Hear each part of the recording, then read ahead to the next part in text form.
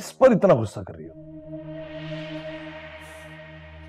मैंने आपसे कहा भी था ना खान साहब निकाले इस बुड्ढी को। अब क्या कर दिया उसने? खाती ये हमारा है। हमदर्दी इसको उस मोटी से है। किसी दिन बाहर जाके कुछ उल्टा सीधा बोल दिया तो? कुछ नहीं होगा। शीदा अपनी जान से जाएगी और क्या होगा? सोहेल खान का कोई कुछ नहीं निकाल सकता। हाँ ये बात तो आपने ठीक कही है। आपका तो कोई भी कुछ नहीं बिगाड़ सकता। ना ही आपका कोई कुछ बिगाड़ने वाला अभी तक पैदा हुआ। लेकिन एक बात है खान साहब आप अभी तक अपनी बहन को नहीं काबू कर पाए। काबू में तो है वो।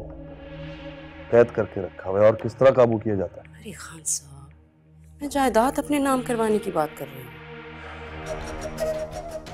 वो भी हो जाएगी।